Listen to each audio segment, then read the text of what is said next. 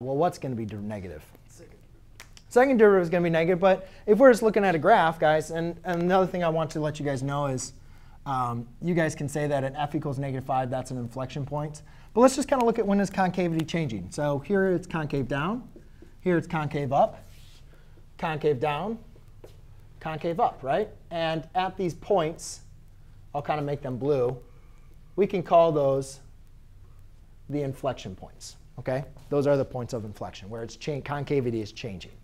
Um, so again, we're looking for when it's concave down. So we only have a couple intervals, right? We only have intervals from negative 7 to 5 and from negative 1 to 3, right? But we're looking for when it's concave down. Um, and it's and the and the intervals is uh, decreasing. So that means the slope is negative, right? So if we look at that, we can see that, well, here, negative 7 to 5, that's decreasing, right? So we could say from negative 7 to 5. And then we could also say, well, here, from negative 1 to 2, it's concave down, but the slopes are increase, positive, right? So we want to look where it's negative, which would be, again, from uh, 2 to 3. And again, we want to go to 3 because that's the inflection point. That's where it's changing. So we'd say the other interval, we could just say union 2 to 3.